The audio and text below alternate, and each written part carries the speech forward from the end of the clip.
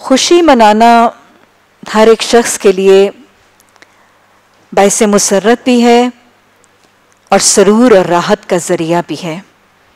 فطری طور پر ہر شخص کا دل خوش رہنے پر کرتا ہے۔ اور خوشی منانا ایک فطری فطری خواہش بھی ہے۔ مختلف معاشرے، مختلف اقوام اپنے کچھ قومی تہواروں کے ذریعے خوشیاں مناتی ہیں۔ ہر طور پہ ایسا رہا۔ حضرت انس رضی اللہ تعالیٰ کی روایت سے ابو داود میں ایک واقعہ آتا ہے کہ ہجرت کے بعد اللہ کے رسول صلی اللہ علیہ وسلم جب مکہ سے ہجرت کر کے مدینہ تشریف لائے تو آپ صلی اللہ علیہ وسلم نے مدینہ کے لوگوں کو دو موقعوں پر تہوار مناتے ہوئے دیکھا۔ یعنی وہ اس میں کھیل تماشا کرتے تھے اور وہ تہوار مناتے تھے، دو تہوار مناتے تھے۔ تو راوی کہتے ہیں کہ آپ صلی اللہ علیہ وسلم نے ان سے پوچھا کہ یہ جو تم تہوار مناتے ہو، یہ کیا ہے؟ کیا ہے کا مطلب تھا کہ یہ اس کی تاریخی پس منظر کیا ہے اور تم کیوں مناتے ہو؟ تو مدینہ کے لوگوں نے بتایا کہ یہ یہ ہمارے آبا و اجداد اسی طرح مناتے تھے اور ہم اپنے آبا و اجداد کی دور جہلیت کی پیروی میں ہم اس کو ایسے، اسی طرح مناتے ہیں۔ آپ صلی اللہ علیہ وسلم نے فرمایا، اللہ سبحانہ تعالیٰ نے ان دو تہواروں کے بدلے تمہیں دو تہوار دیے ہیں۔ اور یہ دو تہوار عید الفطر اور عید الاضحیٰ ہے اور یہی ہمارے دینی اور شرعی تہوار ہیں۔ انہی کو ذوق و شوق سے ریلیجس فرور اور جذبے کے ساتھ منانا ہماری شریعت کا مطالبہ بھی ہے، نبی صلی اللہ علیہ وسلم کی سنت بھی ہے اور ہمارے ایمان اور اسلام کا تقاضا بھی ہے۔ لیکن آپ نے بسا اوقات دیکھا ہوگا کہ آج کچھ لوگ عید کو ایک یکسانیت اور منوٹنس اور بورنگ سا ایونٹ کہتے ہیں۔ ہاں نے سنا ہوگا کچھ لوگ کہتے ہیں، عید تو بالکل بوری گزرتی ہے۔ کیا عید ہوتی ہے؟ کچھ تھوڑے سے کپڑے پہن لیے اور جی پھر اس کے بعد کچھ سوئیوں کی کھیر کھا لی یا گوشت کھا لیا اور بس that is all what about what's about Eid and کچھ اس میں کوئی خاص چیز نہیں ہے۔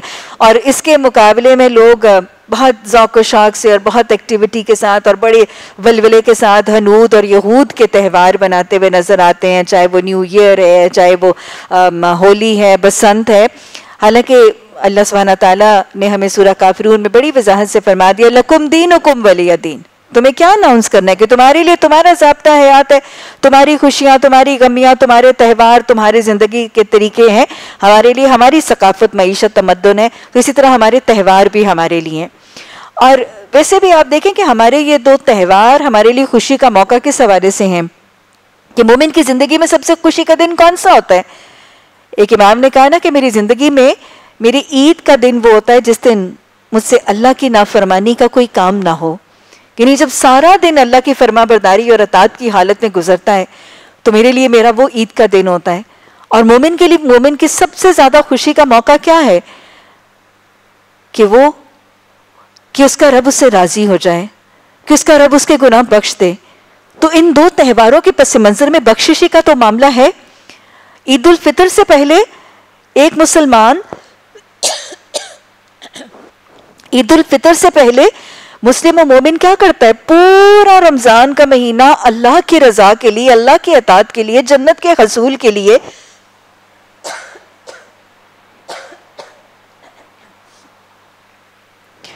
اللہ کی رضا کے لیے، جنت کے حصول کے لیے پورا مہینہ تقوی کی حالت میں روزے رکھتا ہے۔ اور پھر اللہ سبحانہ تعالیٰ سے کیا وعدہ حاصل کرتا ہے؟ حدیث کا وعدہ ہے نا؟ من صام رمضان ایمان و احتسابا فقط غفر له ما تقدم من ذنبه. من قام رمضان، ادھر قامہ ہے، ادھر سوما ہے کہ جس نے ایمان کی حالت میں رمضان کے روزے رکھے اور اس نے اس نے قیام کیا تو اس کے سارے گناہ بخش دیے جاتے ہیں۔ اور اسی طرح اگر عید و ضحیٰ کی بات ہو تو اس میں بھی کیا ہے؟ یہ اشرۂ ذی الحج اور اشرۂ ذی الحج کی رحمتیں اور برکتیں سمیٹنے کے لیے امت کے سارے افراد راتوں کو عبادت کرتے ہیں، دن میں یہ نو روزے رکھتے ہیں کثرت سے اللہ کی تکبیرات، اللہ کی بزرگی اور بڑائی کی تسبیحات اور تکبیرات پکارتے ہیں اور ہر نیکی کا کام کرتے ہیں تو گناہوں کی بخشش۔ یوم عرفہ، نو ذلحج کا روزہ گویا ایک پچھلے سال اور ایک اگلے سال کی گناہوں کی بخشش ان کو ملتی ہے۔ تو یہی ہے وہ عید کے دن کا پس منظر کہ رمضان کے روزوں کے قیام اور روزوں روزوں کے بعد اور عشرہ ذلحج کی عبادات اور روزوں کے بعد جب مومنین کو رب کی رضا ملتی ہے اور اللہ کی طرف سے گناہوں کی بخشش کے پروانے ملنے کا امکان ہوتا ہے، تو یہی ان کی خوشی کا دن ہوتا ہے اور یہی ان کی تہوار کی بنیاد۔ اور پھر عیدگاہ سے عیدگاہ سے پلٹتے وقت بھی ان کی گناہوں کی بخشش ان کو جو لکھ دی جاتی ہے، تو یہی تو تہوار ہے۔ اور یہی تو خوشی کا دن ہے۔ آج ہم یہ دیکھیں گے کہ یہ دن جو انقریب آنے والا ہے انشاءاللہ، آج ذلحج کی پہلی تاریخ ہے، الحمدللہ، اور ہمیں سے کثیر تعداد جو ہے، وہ روزوں کی حالت میں ہے۔ اللہ سب کے عمل بھی قبول کرے اور سب کے ذکر اور تسبیحات بھی قبول کرے اور اس کو ہماری گناہوں کی بخشش کا ذریعہ بھی بنائے۔ تو عید کے دن نبی صلی اللہ علیہ وسلم کی کچھ سنتیں، اس پر بات ہوگی تاکہ ہماری عید بھی پوری کی پوری سنت رسول صلی اللہ علیہ وسلم کے مطابق گزرے۔ عید کے دن غسل، لباس اور کھانے پینے کا طریقہ۔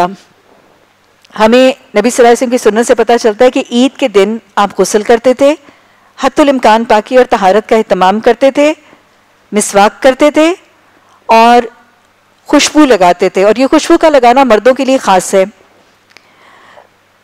اور پھر یہ عمل کرنے کے بعد آپ صلی اللہ علیہ وسلم صاف، ستھرے، اجلے اور آپ کے لباس میں جو بہترین عمدہ لباس ہوتا تھا، اس کو زیب تن کر کے آپ عیدگاہ کی طرف تشریف لے جاتے تھے۔ خاص طور پہ عید کے لیے نیا لباس سلوانا یا بنانا نبی صلی اللہ علیہ وسلم کی سنت سے بھی ثابت نہیں اور نہ ہی کہیں حدیث میں اس کی تاکید ہے۔ جو بہترین لباس ہے، اس کا صاف ستھرا، اجلا اور باوکار ہونا ضروری ہے۔ ابن ماجہ میں حسن حدیث ہے، حضرت عبداللہ بن عباس رضی اللہ تعالیٰ کی روایت سے کہ آپ صلی اللہ علیہ وسلم نے فرمایا، بے شک اللہ تعالیٰ نے اس روز یعنی جمعے کے روز کو مسلمانوں کے لیے عید کا دن بنایا ہے۔ لہٰذا جو شخص جمعے کے لیے آئے، اسے چاہیے کہ غسل کرے، خوشبو میسر ہو تو خوشبو لگائے اور مسواک بھی کرے۔ عید کے دن کھانے کے معمول۔ عید الفطر کے دن، چونکہ پورا رمضان مسلمانوں نے روزے رکھے ہیں، تو عید الفطر کے دن نبی صلی اللہ علیہ وسلم کی سنتی کہ آپ کوئی میٹھی چیز تناول فرماتے تھے۔ اور ہمیں حدیث سے پتا چلتا ہے کہ آپ صلی اللہ علیہ وسلم کھجوریں آڈ کی عدد میں یعنی تین یا پانچ یا سات۔ آپ صلی اللہ علیہ وسلم کھجوریں تناول فرماتے تھے۔ اور اگر کھجوریں نہ ہو تو کوئی اور میٹھی چیز یا شربت وغیرہ بھی لیا جا سکتا ہے۔ اور عید الضحیٰ میں نبی صلی اللہ علیہ وسلم کی سنت خاص تھی کہ آپ کوئی چیز کھائے بغیر تشریف لے جاتے تھے۔ عیدگاہ کی طرف جانے اور آنے کی سنتیں۔ نبی صلی اللہ علیہ وسلم کی سنت سے ثابت تھا کہ آپ پیدل عیدگاہ تشریف لے جاتے تھے۔ اور پیدل جانے میں خاص حکمت یہ ہے کہ جب انسان پیدل جاتا ہے تو سواری پر ہونے کی بنسبت پیدل جاتے ہوئے راستے میں لوگوں کے ساتھ انٹریکشن بھی زیادہ ہے۔ اور سفر بھی ذرا لمبا ہوگا تو تکبیرات بھی زیادہ پکارنے کا امکان ہے۔ تو آپ پیدل تشریف لے جاتے تھے۔ آتے جاتے وقت تکبیریں پکارتے تھے اور آتے جاتے وقت رستہ بدل دیتے تھے۔ کچھ حدیث دیکھیں، حضرت ابن عمر رضی اللہ تعالیٰ کی روایت سے ابن ماجہ میں حسن حدیث ہے کہ آپ صلی اللہ علیہ وسلم پیدل عیدگاہ جاتے تھے اور پیدل ہی تشریف لاتے تھے۔ اور ابن عمر رضی اللہ تعالیٰ خود کیا کرتے تھے کہ وہ عید کے دن صبح صبح سورج نکلتے ہی عیدگاہ تشریف لے جاتے تھے اور عیدگاہ تک تکبیریں کہتے جاتے تھے۔ پھر عیدگاہ میں بھی تکبیریں کہتے رہتے تھے۔ یہاں تک کہ جب امام خطبے کے لیے ممبر پر بیٹھ جاتا تھا تو تکبیریں پڑھنی چھوڑ دیتے تھے۔ اسی طرح حدیث ہے حضرت جابر بن عبداللہ رضی اللہ تعالیٰ کی روایت سے بخاری میں حدیث ہے کہ عید کے روز آپ صلی اللہ علیہ وسلم عید گاہ میں آتے جاتے اپنا رستہ تبدیل کرتے تھے۔ اور ایام تشریق میں بھی جیسے گیارہ بارہ تیرہ میں نبی صلی اللہ علیہ وسلم حضرت عبداللہ بن مسعود رضی اللہ تعالیٰ کی روایت ہے کہ آپ کثرت سے تکبیرات پکارتے تھے۔ حضرت عبداللہ بن عمر رضی اللہ تعالیٰ بخاری میں روایت کرتے ہیں کہ ایام تشریق اب وہی دن ہوں گے جو عید کا دن اور عید سے اگلے دن جو ہیں اس میں کہ ان کے تمام دنوں میں نمازوں کے بعد اپنے بستر پر، اپنے خیمے میں، اپنی مجلس میں چلتے پھرتے تکبیریں کہا کرتے تھے۔ اصل میں یہ تکبیر کیا ہے؟ یہ اللہ کی بڑائی کا اعلان ہے اور اللہ کی بڑائی اور کبریائی کے اعلان کے ساتھ ساتھ تکبیر پکارنے والے کو آجزی اور انکساری کی تربیت کرتا ہے۔ ویسے بھی اللہ کا حکم ہے نا؟ فَذْكُرُ اللَّهَ کا ذکر آباؤ کو مشد ذکر۔ ان دنوں میں ذکر الہی کا تذکرہ ہے، حکم ہے۔ عید کی نماز کے مسائل۔ پہلی بات کہ عید کی نماز سے پہلے آزان اور اقامت نہیں پکاری جاتی۔ حضرت جابر رضی اللہ تعالیٰ کی روایت سے مسلم میں حدیث ہے۔ وہ فرماتے ہیں کہ میں نے نبی صلی اللہ علیہ وسلم کے ساتھ ایک دو نہیں، کئی مرتبہ عیدین کی نماز پڑھی۔ لیکن کبھی بھی آزان اور اقامت نہیں پکاری گئی۔ اسی طرح ہمیں پتا چلتا ہے کہ آپ عید کی نماز کی دو رکتیں ادا فرماتے تھے۔ نسائی میں حضرت عمر رضی اللہ تعالیٰ کی روایت سے صحیح حدیث ہے۔ کہ نبی صلی اللہ علیہ وسلم کے فرمان کے مطابق عید الاضحیٰ کی دو رکتیں، عید الفطر کی دو رکتیں، مسافر کے نماز کی دو رکتیں، جمعے کے نماز کی دو رکتیں۔ اور یہ مکمل نماز ہے، کم نہیں۔ گویا عیدین میں دو رکت نماز ادا کی جاتی ہے۔ اور عید کی نماز یہ دو رکتیں ادا کرنے کے بعد امام خطبہ ارشاد فرماتا ہے اور یہ نبی صلی اللہ علیہ وسلم کی سنت کے مطابق ہے۔ حضرت عبداللہ بن عمر رضی اللہ تعالیٰ کی روایت سے متفق علیہ حدیث ہے کہ آپ نماز عید کی دو رکتوں کے بعد خطبہ ارشاد فرماتے تھے۔ اسی طرح نماز عید میں زائد تکبیریں ہیں۔ عام نمازوں کے مقابلے میں تکبیریں زائد ہوتی ہیں۔ اور یہ زائد تکبیروں پر نبی صلی اللہ علیہ وسلم کی سنت سے تکبیر پر ہاتھ اٹھانا اور ہاتھ تکبیر کے بعد ہاتھ باندھنا نبی صلی اللہ علیہ وسلم کی سنت سے ثابت ہے۔ مسند احمد میں حضرت بائل بن حجر رضی اللہ تعالیٰ کی روایت سے کہ نبی صلی اللہ علیہ وسلم ہر تکبیر کے ساتھ ہاتھ اٹھاتے اور پھر ہاتھ باندھتے۔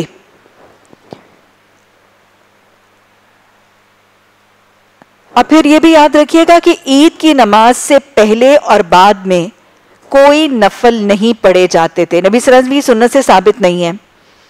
حالانکہ ہمیں پتا چلتا ہے کہ یہ عید کی نماز اشراق اور چاشت کے درمیان کے وقت میں پڑھی جاتی ہے۔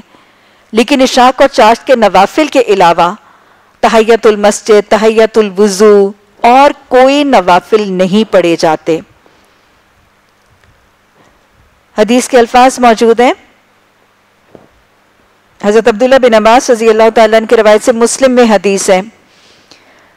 کہ نبی صلی اللہ علیہ وسلم عید الاضحیٰ اور عید الفطر کے روز گھر سے نکلتے دو رکعت نماز ادا کرتے، اس سے پہلے اور بعد میں کوئی نماز نہیں پڑھتے تھے۔ تو گویا پہلے اور بعد میں کوئی نوافل نہیں ہوں گے، یہ تو عید کی نماز کا طریقہ ہے۔ عید کی نماز کے بعد خطبہ دینا نبی صلی اللہ علیہ وسلم کی سنت ہے۔ اور اس خطبے ہی سے نماز کی، عید کی نماز کی تکمیل ہوتی ہے۔ جیسے جمعے کے خطبے میں جمعے کی نماز میں جمعے کا خطبہ ضروری ہے، ویسے ہی عید کی نماز میں عید کا خطبہ سننا بھی ضروری ہے۔ اور آپ یہ خطبہ مردوں کو بھی دیتے تھے، اور وسا اوقات جب آپ کو لگتا تھا کہ خواتین تک آپ کی آواز نہیں پہنچی تو آپ ان کو الگ سے خطبہ اشاد فرماتے۔ بخاری میں وہ ابن عباس رضی اللہ تعالیٰ کی روایت سے واقعہ بھی آتے ہیں ہم پڑھ چکے ہیں پیچھے۔ کہ آپ نے پہلے مردوں سے خطبہ اشاد کیا اور پھر آپ مردوں کی صفوں میں سے نکل کر عورتوں کی طرف آئے۔ اور آپ کے ساتھ حضرت بلال رضی اللہ تعالیٰ تھے۔ آپ کو لگا کہ شاید عورتوں کو میری آواز نہیں پہنچی۔ آپ نے ان کو نصیحت فرمائی اور صدقہ خیرات دینے کا حکم دیا۔ تو راوی کہتے ہیں کہ کوئی عورت اپنی کان کی بالیاں اور کوئی انگوٹھیاں اس کپڑے میں ڈالنے لگی جو حضرت بلال رضی اللہ تعالیٰ نے جمع کیا تھا۔ گویا عید کی نماز پہ خواتین، مدینہ کی خواتین صدقہ خیرات بھی کرتی ہوئی نظر آ رہی ہیں۔ عید کی نماز سے فارغ ہو کر مسلمانوں کا ایک دوسرے کو ملنا اور دعا دینا سنت رسول صلی اللہ علیہ وسلم سے ثابت ہے۔ مسافہ اور معانقہ، ہاتھ ملانا اور گلے ملنا۔ اور ساتھ دعا کیا دی جاتی تھی۔ نبی صلی اللہ علیہ وسلم کی سنت سے ثابت ہے، حسن حدیث ہے کہ حضرت جبیر فرماتے ہیں کہ صحابہ اکرام عید کے دن آپس میں ملتے تو ایک دوسرے کو تقبل اللہ منا و من کا کہ یہ جو پیچھے رمضان کے اشرا ذلحج کے ان دنوں کے جو عمل گزرے اللہ تمہارے بھی قبول کر لے اور میرے بھی قبول کر لے۔ اسی طرح خواتین کا، مسلمان خواتین کا عیدگاہ میں جانا۔ آپ صلی اللہ علیہ وسلم مردوں کو تو جو تاکید کرتے تھے، اس کے ساتھ ہمیں پتا چلتا ہے کہ آپ خواتین کو بھی عیدگاہ میں لانے کی تاکید کرتے تھے۔ آپ مردوں کو تاکید کرتے تھے کہ اپنی خواتین کو عیدگاہ میں لاؤ۔ اور متفق علیہ حدیث حضرت ام عطیہ رضی اللہ تعالیٰ کی روایت سے آتی ہے کہ وہ فرماتی ہے کہ نبی صلی اللہ علیہ وسلم کی حیات طیبہ میں دونوں عیدوں میں ہم حیض اور پردہ نشین والی عورتیں یعنی با پردہ عورتیں بھی آتی تھیں حیض عورتیں بھی آتی تھیں، کماری بھی آتی تھی، جوان بھی آتی تھی ہر قسم کی خواتین جو ہے وہ عیدگاہ میں حاضر ہوتی تھی لیکن حیضہ عورتیں نماز کی جگہ سے الگ رہتی تھیں۔ لیکن بہرحال جہاں آپ صلی اللہ علیہ وسلم نے یہ فرمایا کہ اپنی عورتوں کو اللہ کے گھروں میں جانے سے یعنی مسجدوں میں جانے سے نہ روکو۔ اور یہاں پر عیدگاہ میں جانے کی بھی تاکید ہے، لیکن آگے جانے سے پہلے میں یہ ضرور ہائی لائٹ کرنا چاہوں گی کہ عیدگاہ میں اور مسجد میں خواتین صرف اور صرف تب جائیں گی اگر اللہ کے بتائے ہوئے حدود اور قیود کے مطابق جا سکتی ہے اللہ کے بتائے ہوئے ڈریس کوڈ کے مطابق۔ دیکھیں ہم ہر جگہ کے ڈریس کوڈ کا اہتمام کرتے ہیں کہ نہیں کرتے؟ اسکول کالج یونیورسٹی یہاں تک کہ لوگ کسی کلب میں جانے سے پہلے جمخانہ کا ڈریس کوڈ ہے، پنجاب کلب کا اپنا ڈریس کوڈ ہے، ان تمام چیزوں کے ڈریس کوڈ کا اہتمام رکھا جاتا ہے۔ یہ اللہ کے گھر کا ایک ڈریس کوڈ ہے، یہ عیدگاہ کا ایک ڈریس کوڈ ہے۔ اگر اس ڈریس کوڈ اور اس کوڈ آف ایتھکس کے مطابق جا سکتی ہیں تو جائیں۔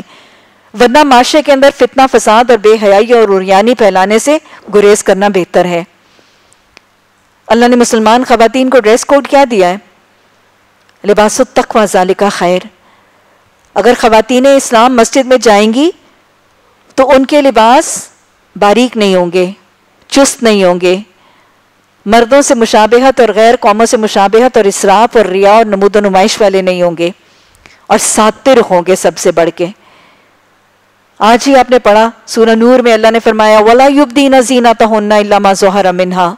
سورہ حضاب میں اللہ نے فرمایا يُدْنِينَ عَلَيْهِنَّ مِنْ جِلَابِبِهِنْ اگر اس ڈریس کوڈ کے مطابق خواتین اسلام مسجد میں یا عیدگاہ میں جا سکتی ہیں تو بھلی جائیں۔ لیکن اگر اس ڈریس کوڈ کو اڈاپٹ نہیں کر سکتی تو اپنے زیورات، اپنے بناؤ، سنگھار دکھا کر، خوشبو کی لپٹیں پھیلا کر، بن، ٹھن سمر کے اپنا حسن دکھا کر اور اپنی زینتیں کے ذریعے مسجدوں اور عیدگاہوں میں فحاشی اور اوریانی کا فتنہ پھیلانے کے لیے اگر جانا تو اسے گھر بیٹھی بھلی ہے۔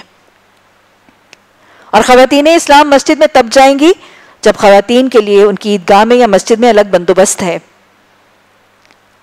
اور پھر یہ بھی یاد رکھیے گا کہ اگر ان کے شوہر اور ان کے گھر کے قوام مرد اس کی اجازت دیتے ہیں، اگر بیٹیوں کے باپ یا بھائی یا بیویوں کے شوہر ان کے عید گاہ میں جانے پر راضی نہیں ہے تو یہ چونکہ ان کے لیے فریضہ دین نہیں ہے، تو ان کے لیے گھر رکنا بہتر ہے۔ لیکن یہ یاد رکھ لیجیے گا کہ جیسے جمعے کی نماز گھر پر نہیں ہوتی، گھر پر اگر پڑھی جائے گی تو وہ زہری کی نماز پڑھی جائے گی اور ظہر ہی کی رقطوں کی شکل میں ادا کی جائے گی۔ تو اسی طرح عیدین کی نماز بھی گھر پر نہیں ہوتی۔ کچھ لوگوں کا یہ تصور ہے کہ اس وقت اگر ہم دو رکت خواتین ہم مل کر وہاں پہ دو رکت پڑھ لیں گے تو وہ عیدین کی نماز کی ریپلیسمنٹ ہو جائے گی۔ ایسا کوئی تصور حدیث سے ثابت نہیں۔ اور نہ ہی صحابیات نے یا امہات المومنین نے ایسا کوئی طریقہ اپنایا۔ ہاں چاشت اور اشراق کے نوافل ہیں، لیکن اگر گھر پر پڑھے جائیں گے تو یہ اشاق اور چارج کے نوافل ہوں گے۔ وہ عیدین کی نماز کی ریپلیسمنٹ نہیں ہوگی۔ اور عید کی نماز کے حوالے سے ایک اور چیز میں ضروری ہائی لائٹ کروں گی کہ ایک مس کانسیپٹ ہے۔ کہ وہ یہ کہا جاتا ہے کہ اگر عید کی نماز یا عید کا دن جمعے کے دن آ جائے تو وہ حاکم وقت پر بہت بھاری ہوتا ہے۔ ایسا کوئی تصور حدیث سے ثابت نہیں ہے۔ کوئی ایسا تصور حدیث سے ثابت نہیں ہے، نمبر ون۔ اور دوسری بات یہ ہے کہ یہ تو سراسر بدشگونی اور اوہام کا تصور ہے اور اوہام شرک ہے، یہ جبت ہے اور اس کا کوئی تصور شریعت میں ثابت نہیں ہے۔ اس کے برخلاف وہ صحیح حدیث کے الفاظ ہیں۔ حضرت ابو حریرہ رضی اللہ تعالیٰ کی روایت سے کہ آپ صلی اللہ علیہ وسلم نے فرمایا کہ تمہارے آج کے دن میں دو عید ہیں، ایک عید اور دوسرا جمعہ۔ یہ دونوں اکٹھی ہو گئی ہیں۔ جو چاہے اس کے لیے جمعے کے بدلے عید ہی کافی ہے، لیکن ہم دونوں یعنی جمعہ اور عید دونوں ادا کریں گے۔ ابو داود اور ابن ماجہ کی حدیث سے یہ ثابت ہو رہا ہے کہ اگر عید کے دن ہی جمعے کا دن آ جائے، تو حدیث کے حوالے سے شریعت میں یہ آپشن ہے کہ جمعے کی نماز کو چھوڑا جا سکتا ہے، لیکن آپ نے دونوں کو پڑھنا مستحب قرار دیا۔ عید کے دن خوشی منانے کا تصور۔ نبی صلی اللہ علیہ وسلم کی سنت سے کھیل، تماشا اور خوشی منانے کی اجازت موجود ہے۔ بخاری میں حضرت عائشہ رضی اللہ تعالیٰ عنہ کی روایت سے حدیث میں واقعہ آتا ہے کہ حضرت ابو بکر صدیق رضی اللہ تعالیٰ داخل ہوئے اور میرے پاس دو چھوٹی بچیاں دف بجا کے گا رہی تھیں اور یہ منا کے دن تھے یعنی ایام تشریق کے دن ہے حضرت عائشہ فرماتی ہے میرے والد آئے اور دو بچیاں دف بجا کے گا رہی تھیں۔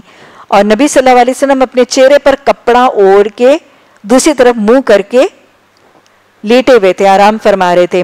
حضرت ابو بکر صدیق رضی اللہ تعالیٰ عنہ آئے اور وہ ان لڑکیوں کو ڈانٹنے لگے۔ کہ مطلب نبی صلی اللہ علیہ وسلم کی موجودگی میں ان کے حجرے میں تم گا رہی ہو اور یہ کیا کر رہی ہو؟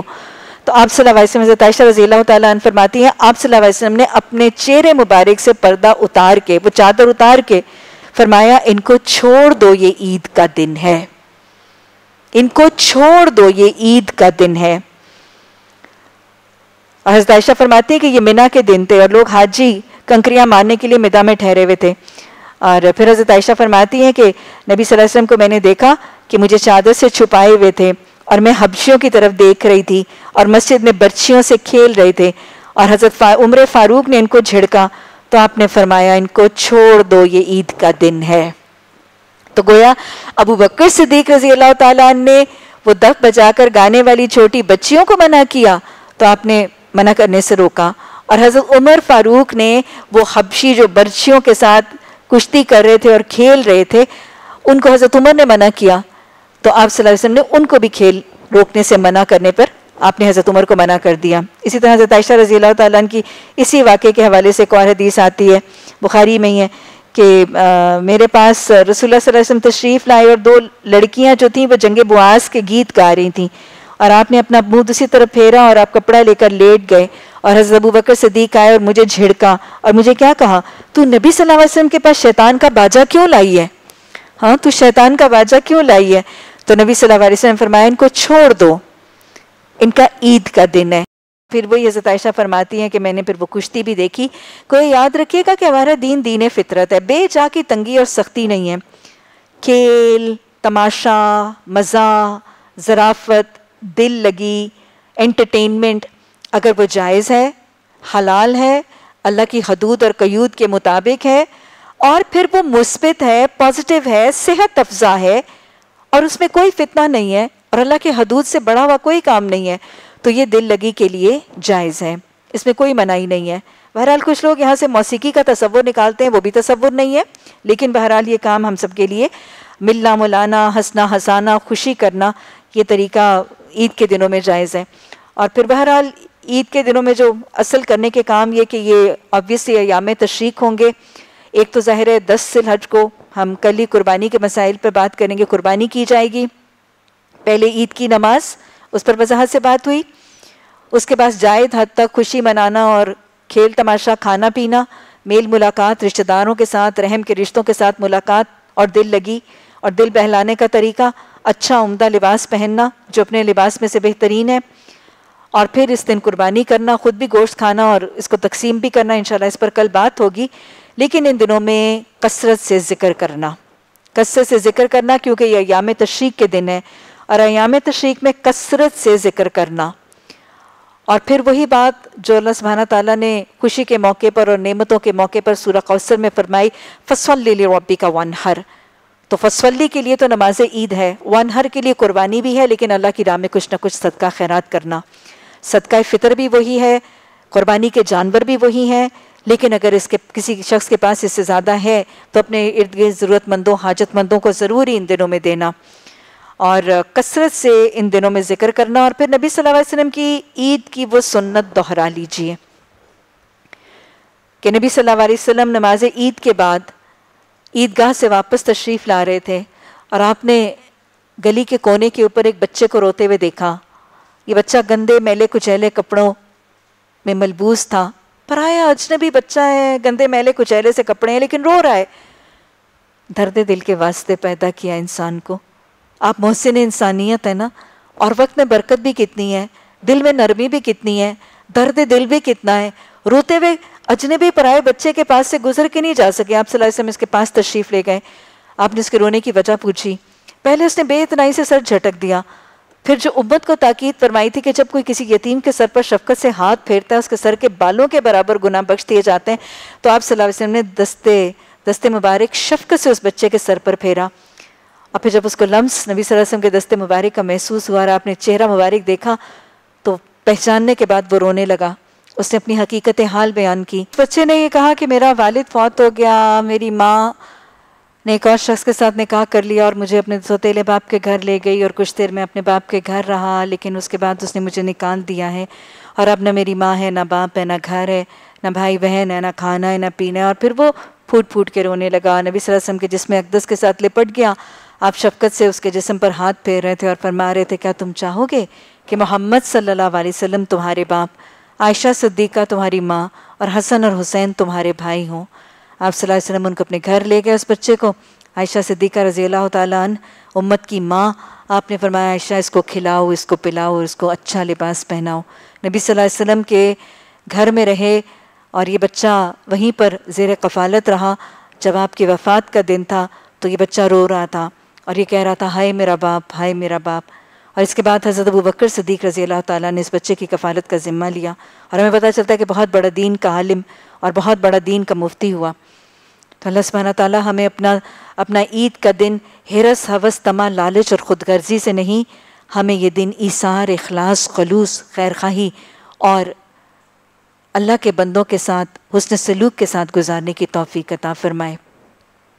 یہ کتاب العیدین، عیدین کا بیان۔ اس کی کچھ احادیث آپ کی کتاب میں ہیں۔ ان کو میں پڑھ لوں۔ یہ بنیادی طور پر وہی احادیث ہیں جو آپ سن چکی ہیں۔ ان کو جلدی سے ہم پڑھ لیجیے۔ باب نمبر ایک۔ عید کے دن برچیوں اور ڈھالوں سے جہادی مشقیں کرنا۔ حدیث نمبر 527 حضرت عائشہ رضی اللہ تعالیٰ عنہ سے روایت ہے کہ انہوں نے فرمایا کہ نبی صلی اللہ علیہ وسلم میرے پاس تشریف لائے۔ اس وقت میرے پاس دو لڑکیاں بیٹھی تھیں، یہ جو آپ نے جنگ بواس کا معاملہ دیکھا۔ اسی طرح باب نمبر دو، عید الفطر کے دن نماز عید کے لیے نکلنے سے پہلے کچھ کھانا۔ حدیث نمبر 5 28. حضرت انس رضی اللہ تعالیٰ عنہ فرماتے ہیں کہ نبی صلی اللہ علیہ وسلم عید الفطر کے دن جب تک چند کھجوریں تلاون نہیں فرماتے تھے، نماز کے لیے نہیں جاتے تھے اور آپ تاک عدد میں کھجوریں کھاتے تھے۔ باب نمبر تین، عید الضحیٰ کے دن کھانا۔ حدیث نمبر 529 حضرت برا بن عازب رضی اللہ تعالیٰ عنہ سے روایت ہے کہ میں نے نبی صلی اللہ علیہ وسلم کو خطبہ اشاد فرماتے ہوئے سنا۔ آپ نے فرمایا کہ آج کے دن اس دن میں پہلا کام جو ہم کریں گے کہ نماز پڑھیں گے۔ گویا آپ کھانا نہیں کھاتے تھے، تو first thing he did was نماز پڑھیں گے اور پھر واپس جا کر قربانی کریں گے۔ تو جس نے ایسا کیا، اس نے ہمارے طریقے کو پا لیا۔ گویا یہ عید کا طریقہ ہے۔ حدیث نمبر 530 حضرت برا بن عازب رضی اللہ تعالیٰ عنہ سے روایت ہے کہ نبی صلی اللہ علیہ وسلم نے عید الاضحیٰ میں نماز کے بعد ہمارے سامنے خطبہ ارشاد فرمایا۔ تو کہا جو شخص ہمارے جیسی نماز پڑھے گا اور ہمارے جیسی قربانی کرے گا، گویا نبی صلی اللہ علیہ وسلم کی سنت کے مطابق کرنا ہے۔ تو اس کا فریضہ پورا ہو گیا اور جس نے نماز سے قبل قربانی کی، تو وہ نماز سے پہلے ہونے کی بنا پر قربانی نہیں ہے۔ اس پر حضرت برا رضی اللہ تعالیٰ عنہ کے ماموں ابو بردہ بن نیار انہوں نے عرض کیا کہ رسول اللہ صلی اللہ علیہ وسلم، میں نے تو اپنی بکری نماز سے پہلے ذبح کر دی، کیونکہ میں نے سمجھا تھا کہ آج کھانے پینے کا دن ہے، اس لیے میری خواہش تھی کہ سب سے پہلے میرے گھر میں بکری ذبح ہو۔ اس بنا پر میں نے بکری نماز سے پہلے ذبح کر دی تاکہ کچھ ناشتہ بھی ہو۔ آپ نے فرمایا، تمہاری بکری تو صرف بکری کا گوشت ہے۔ یا رسول اللہ صلی اللہ انہوں نے کہا کہ رسول اللہ صلی اللہ علیہ وسلم، اب تو میرے پاس ایک بھیڑ کا بکرا، بچہ ہے جو مجھے دو بکریوں سے بھی زیادہ عزیز ہے۔ تو کیا وہ میری طرف سے کافی ہوگا؟ آپ نے فرمایا ہاں لیکن تمہارے سوا کسی کے لیے نہیں۔ تو کیا یہ پتہ چلتا ہے کہ نماز میں اب دو کام ہے کرنے کے، ایک نماز پڑھنا اور قربانی کرنا۔ اور یہ کیسے کرنے ہیں سنت کے مطابق کرنے ہیں اور قربانی کیسے کرنی ہے؟ نماز کے بعد کرنی ہے۔ اگر پہلے ہو گئی تو وہ صدقہ ہے، وہ قربانی نہیں ہے۔ اور اگر پہلے کر لی تو دوبارہ کرنی ہے اگر استطاعت ہے۔ اور دوبارہ کرنے میں اگر چھوٹا جانور ہی صرف موجود ہے تو وہ کیا جا سکتا ہے؟ لیکن یہ چھوٹا جانور عام شخص نہیں کر سکتا۔ باب نمبر چار، عیدگاہ میں ممبر کے بغیر جانا۔ حدیث نمبر 531 ابو سعید قدری رضی اللہ تعالیٰ سے روایت ہے کہ رسول اللہ صلی اللہ علیہ وسلم عید الفطر اور عید الاضحیٰ کے دن عید کا تشریف لے جاتے تو پہلے جو کام کرتے وہ نماز، اس سے فراغت کے بعد آپ لوگوں کے سامنے کھڑے ہوتے یعنی ممبر پر نہیں تشریف فرما ہوتے، کھڑے ہو جاتے لوگ اپنی صفوں میں بیٹھے رہتے تب آپ انہیں نصیحت اور تلقین فرماتے اور اچھی باتوں کا حکم دیتے پھر اگر آپ کو کوئی لشکر بھیجنا تھا تو تیاری کا حکم دیتے اور جس کام کا حکم دیتے پھر وہ کر کے واپس لوٹتے۔ گویا جہادی تنظیمیں عید کے دن بھی لشکر روانہ ہوتے تھے۔ حضرت ابو سعید خدری فرماتے ہیں، یہاں تک اس کے بعد بھی لوگ ایسا ہی کرتے رہے۔ یہاں تک کہ مروان کے ساتھ عید الاضحیٰ یا عید الفطر میں گیا تو اس وقت وہ مدینہ کا حاکم تھا۔ تو جب ہم عید گاہ میں پہنچے تو ایک ممبر وہاں رکھا ہوا تھا اور مروان نے اچانک چاہا کہ نماز پڑھنے سے پہلے اس پر چڑھے۔ تو میں نے اس کا کپڑا کھینچا۔ تاکہ اس نے مجھے جھٹک دیا اور ممبر پر پھر بھی چڑھ گیا۔ پھر اس نے نماز سے پہلے خطبہ دیا۔ تو میں نے کہا، اللہ کی قسم، تم نے نبی صلی اللہ علیہ وسلم کی سنت کو بدل دیا ہے۔ اس نے کہا، ابو سعید خدری، وہ بات جاتی رہی ہے جو تم جانتے ہو۔ میں نے کہا، قسم، میں جانتا ہوں۔ اس بات سے بہتر ہے جسے میں نہیں جانتا۔ اس پر مروان نے کہا کہ دراصل بات یہ ہے کہ ہمارا خطبہ نماز کے بعد اس لیے نہیں ہوتا کہ لوگ بیٹھتے نہیں۔ گویا مروان نے پہلے خطبہ اس لیے دیا کہ نماز سے پہلے خطبہ ہوگا تو لوگ سنیں گے، بعد میں نماز کے لوگ نہیں بیٹھیں گے۔ باب نمبر پانچ سے یہ بھی پتا چلتا ہے کہ کسی حاکم کو اس کے غلط کام پر اور غیر مسنون کام پر روکا، ٹوکا جا سکتا ہے اور آزادی رائے پتا چل رہی ہے کہ کتنی آزادی اسپیچ ہے۔ باب نمبر پانچ، عید کے لیے پیدل یا سوار ہو کر جانا اور خطبے سے پہلے نماز ادا کرنا۔ حدیث نمبر 532 ابن عباس اور جابر بن عبداللہ فرماتے ہیں کہ نہ عید کی اذان ہوتی تھی اور نہ ہی اقامت۔ باب نمبر چھ، نماز عید کے بعد خطبہ۔ حدیث نمبر 533 حضرت ابن عباس رضی اللہ تعالیٰ سے روایت ہے کہ انہوں نے فرمایا، میں نے عید کی نماز نبی صلی اللہ علیہ وسلم کے ساتھ پڑھی اور یہ سب نماز پہلے اور خطبہ بعد میں کرتے تھے۔ باب نمبر سات، ایام تشریق میں عبادت کرنے کی فضیلت۔ حدیث نمبر 534 ابن عباس رضی اللہ تعالیٰ سے روایت ہے کہ وہ نبی صلی اللہ علیہ وسلم سے بیان فرماتے ہیں کہ کسی اور دن کی عبادت ان دس دنوں میں عبادت سے افضل نہیں۔ صحابہ نے عرض کیا کیا جہاد سے بھی؟ آپ نے فرمایا جہاد بھی نہیں۔ ہاں وہ شخص جو جہاد میں اپنی جان اور مال کو خطرے میں ڈالتے ہوئے نکلے اور پھر کوئی چیز کوئی چیز لے کر واپس نہ لوٹے۔ باب نمبر آٹھ، ایام منا اور میدان عرفات میں جاتے ہوئے تکبیریں کہنا۔ حدیث نمبر 535 انس رضی اللہ تعالیٰ سے روایت ہے کہ ان سے لبیک پکارنے کے بارے میں پوچھا گیا کہ تم نبی صلی اللہ علیہ وسلم کے ساتھ تھے تو کیا کیا جاتا تھا؟ تو انہوں نے فرمایا کہ لبیک کہنے والا لبیک کہتا تھا، اسے منع نہیں کیا جاتا تھا اور تکبیریں کہنے والا تکبیریں کہتا تھا اور اس پر کوئی اعتراض نہیں ہوتا تھا۔ گویا حاجی دونوں چیزیں پڑھ سکتے ہیں۔ ہمیں کیا پڑھنا ہے؟ ہمیں تکبیرات پڑھنی ہے باب نمبر نو، قربانی کے دن عیدگاہ میں اونٹ یا کوئی جانور ذبح کرنا۔ حدیث نمبر 536 حضرت عبداللہ بن عمر رضی اللہ تعالیٰ کی روایت ہے کہ نبی صلی اللہ علیہ وسلم اونٹ یا کسی جانور کی قربانی عیدگاہ میں کرتے تھے۔ آپ نے سکسٹی تھری اونٹ اپنے ہاتھ سے اور تھرٹی سیون حضرت علی رضی اللہ تعالیٰ سے ذبح کروائے تھے۔ باب نمبر دس، عید کے دن واپسی پر راستہ بدلنا۔ حدیث نمبر 537 جابر رضی اللہ تعالیٰ کی روایت سے کہ نبی صلی اللہ علیہ وسلم عید کے دن راستہ تبدیل کرتے تھے یعنی واپسی پر دوسرا راستہ اختیار کرتے تھے۔ اور حدیث نمبر 538 حضرت عائشہ رضی اللہ تعالیٰ حبشیوں کے بارے میں وہ حدیث بتاتی ہیں کہ میں نے ان کا کھیل دیکھا اور حضرت عمر نے ان کو جھڑکا تو آپ صلی اللہ علیہ وسلم نے فرمایا کہ نہیں، ان کو رہنے دو اور تم آرام اور سکون سے کھیلو۔ تو گئے وہ تمام احادیث تھیں جو آپ کی کتاب میں موجود تھیں، ان وضاحت پر جو ہم نے عیدین کے حوالے سے کی اور عید کے دن کے حوالے سے کی۔ اللہ سبحانہ تعالیٰ اس عید کے ان عید کے دنوں کو ہم سب کے لیے بخشش اور رحمت کا ذریعہ بنانا، ہم سب کے عمل ہماری قربانیاں قبول فرمانا اور اللہ ہماری قربانیوں کو واقعی ہماری تربیت اور تقوی میں اضافے کا ذریعہ بنانا۔